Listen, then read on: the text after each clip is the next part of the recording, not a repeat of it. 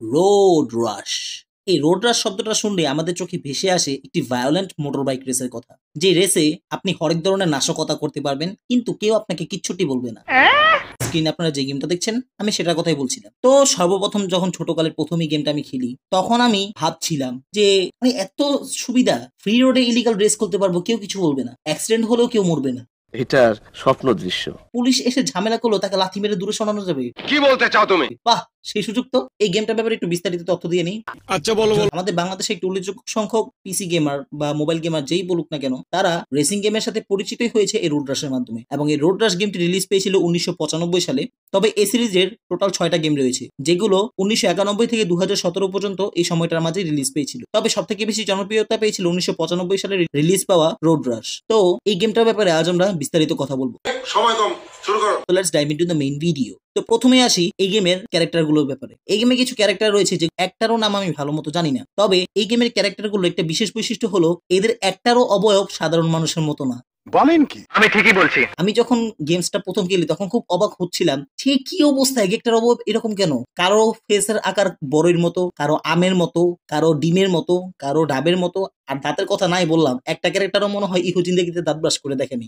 হতে পারে। তো এবার আসি গেম প্লের বেলায়। এই গেমের গেম প্লেটা ছিল সাধারণই যেমন রেসিং গেমগুলোতে যেটা হয় সাধারণত ডাইরেকশন বাটনগুলি সামনে পেছনে ডানে বাই ক্লিক করলেই বাই সামনে পেছনে ডানে বাই যায়। সাধারণত রেসিং গেমে যেরকম হয় তুমি শান্তি মতো চালিয়ে ফিনিশ লাইনে যাবে এবং তোমার রেস শেষ হয়ে যাবে। ইয়েস এরকমটাই হবার কথা ছিল কিন্তু না এই গেমে তোমার আশেপাশে বহু বেহায়া পোলাপান আসবে এমনকি পথিমধ্যে কিছু ঘাটতারা ও ছেঁচড়া মাকা পুলিশ অফিসারও আসবে। কেন? কালে মনে হয় এই সকল পুলিশ অফিসার থেকে তুমি ঘুষ দাও নাই। দ্যাটস ওয়াই হয়তো তোমার পেছনে ঘুরঘুর করবে এরা। সে যাই হোক। তুমি শান্তি মতো চালাচ্ছ এবং পাশ থেকে তোমার সাথে যারা রেসিং করবে তারা এসে তোমাকে থামানোর জন্য অযথাই ঘুষালাথি মারতে থাকবে। কি আশ্চর্য কথা। এই দেখুন এই দেখুন এই দেখুন। কি অবস্থা? আরে ভাই শান্তি মতো রেস করতে দে না। ঘুষা মারার দরকার কি তোর? আমার আগে তুই যাবি হ্যাঁ আমার যাব আমার যেতে দে। দেখছেন ভাই? অতপর আমি মা বাবার সুবোধ সন্তান হলেও আমি গেমের মধ্যে অসভ্য হয়ে যেতাম। দ্যাটস ওয়াই কিছু করা ছিল না আমার। এদেরকে থামানোর জন্য আমারও হাত এবং পা চালাতে হতো। বাট হাউ ইট পসিবল তাই কিবোর্ড চাপতাম আমি এবং সাথে কেউ একজনকে নিয়ে বসতাম। সাথে জন যে থাকতো তার পেশা ছিল এক বাটন কিংবা জিরো বাটনটা ক্লিক করে শুধুমাত্র পা দিয়ে লাথি এবং হাত দিয়ে ঘুষি মারবে এবং আমি বাইক চালাবো। এবং দুজন মিলেই তখন গেম শেষ করতাম। আরে বাহ। সাথের হেল্পারের কাজটা এক এক সময় এক একজন করতো। আচ্ছা যাই হোক। এবার আসি পুলিশ কাকুর বেলায়। সব থেকে ইন্টারেস্টিং এবং একইভাবে বিরক্তিকর ব্যাপার হলো এই পুলিশদের কাণ্ড? সাধারণত বাস্তবে যেটা হয় আমাদের বাংলাদেশে আপনি পুলিশদের সাথে যে রকম সমস্যা ফেস করবেন লাইক আপনাকে তাদেরকে ঘুষ দিতে হতে পারে এমনকি কোন রকম প্রয়োজন ছাড়াই আপনাকে আটকাতে পারে। বাইকে যদি লাইসেন্স না থাকে তাহলে তাদেরকে টাকা দিতে হয় এবং লাইসেন্স থাকলে অনেক সময় হয়রানির শিকার হতে হয়। এন্ড দ্যাটস ওয়াই আমি কখনই পুলিশদের সাথে সদয় ব্যবহার করিনি গেমস মধ্যে তবে এই গেমের পুলিশ অফিসার আর কিছু হোক না হোক সভ্য ছিল। সে এসে প্রথমে কিছু বলতো না। হাতের একটি ডান্ডা দিয়ে দুটা বাড়ি মারতো। তবে এই দুটা ডান্ডা বাড়ি মারার পরও আমরা যখন না শুনতাম তখন সে আরও দু চারটা বাড়ি মারতো। কিন্তু ভুলেও আমার অন্যান্য রেসারদের মতো লাথি মারতো না। এই জন্য আমি আগে বলেছি আমি গেমে ঢুকলে অসভ্য হয়ে যেতাম। আমি তার সাথে কীরকম অবিচারগুলো করতাম এগুলো দেখাই এখন। চলো দেখা যাক। রে তুই ঘুষ দেস নাকি লেগা? হরমিয়া আমার পকেটে টাকা নাই। এক ঘুষ দে। তাহলে তোর আটকামো। সিরিয়াসলি কেস দিয়ে দিমু? সরু বেটা দূরে গিয়া মর। কেস দিমু? কেস দিমু? ও আরে আমার সঙ্গে ফাজলামি করবে। এন্ড মাঝে মাঝে যখন কপাল খুব খারাপ থাকতো তখ- তখন পুলিশদের এরকম চেকপোস্ট পাড়ি দিয়েও আমি অ্যাক্সিডেন্ট করতাম। এই দেখুন অবস্থা।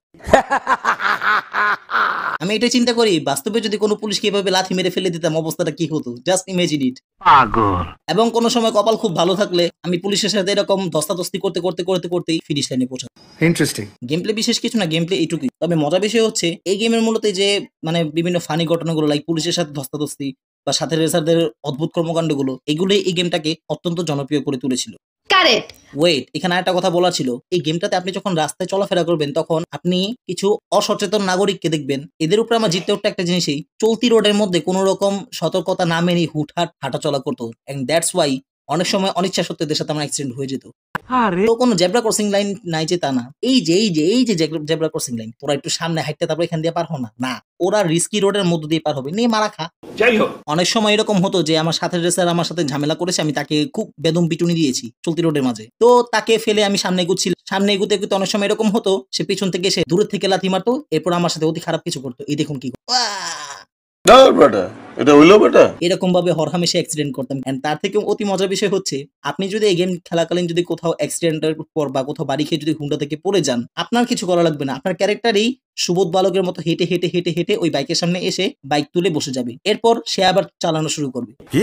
কখন এইভাবে পরে নেইমারের মতো গড়াতে গড়াতে গড়াতে গড়াতে এক ফুটবল স্টেডিয়াম সমপরিমাণ জায়গা পার করে ফেলতাম। আমি তো বুঝি না মাথায় ঢুকে না। আই ড্যাম শিওর নেইমার ভাইজান এ থেকেই ইন্সপায়ার হয়ে গড়াগড়ি শুরু করেছে। তুমি কথা বেশি বলো। ও একটা মজা ঘটনা বলি। তো ফরেস্ট গাম্প মুভিটা যারা দেখেছ, তারা হয়তো খুব ভালো মতো জানো, আমাদের ফরেস্ট কাকু তার প্রিয়তমা জেনিকে খোঁজার জন্য ম্যারাথন দৌড়ের মাধ্যমে পুরো আমেরিকা কভার করেছিল।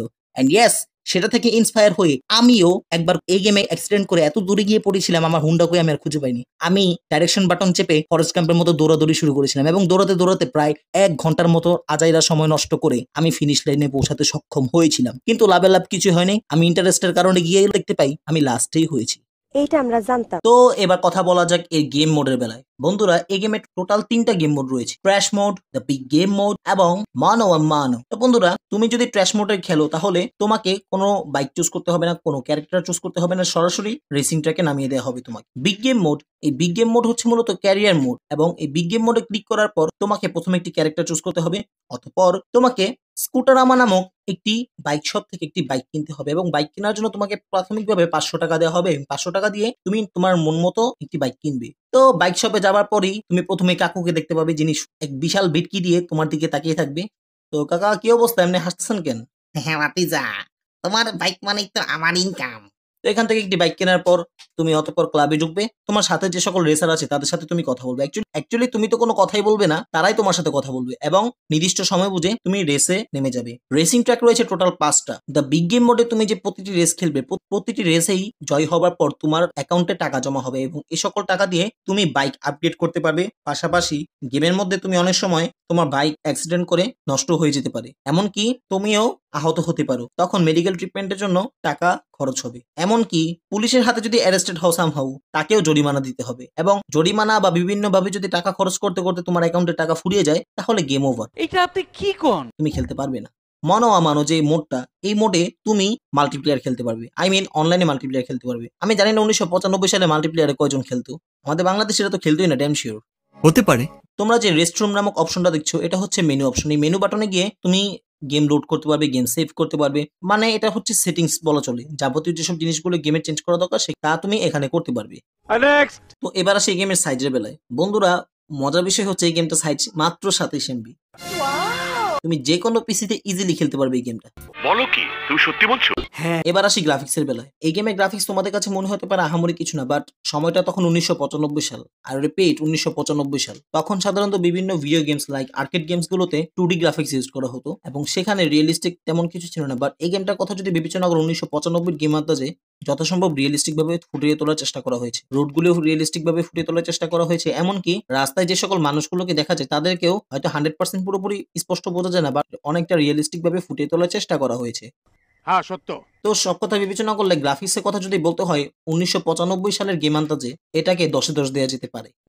খুশি হলাম তোমার কথা শুনে। তো এই ছিল এই গেমের ব্যাপারে বিস্তারিত যাবতীয় বিষয়গুলো। তবে বন্ধুরা আজকালকে যারা ব্যাটল রয়্যাল খেলুড়ে জেনারেশন বা সোকল গেমার যারা আই মিন যারা শুধুমাত্র গেমকে গ্রাফিক্স দিয়ে বিবেচনা করো তাদের কাছে গেমটা খুবই ফালতু মনে হতে পারে। ভাই তুমি কল্পনাও করতে পারবে না রে ভাই এই গেম কি পরিমাণ জনপ্রিয় ছিল তার সময়। অ্যান্ড মোস্ট ইম্পর্টেন্টলি বাংলাদেশের এইটিস এবং নাইনটিস এর হিউজ পরিমাণ ছেলে মেয়ে যারা সাধারণত ভিডিও গেমস খেলেছে পিসিতে তাদের একটি বড় অংশই রেসিং গেমের সাথে পরিচিত হয়েছে এই রোড রাশের মাধ্যমে।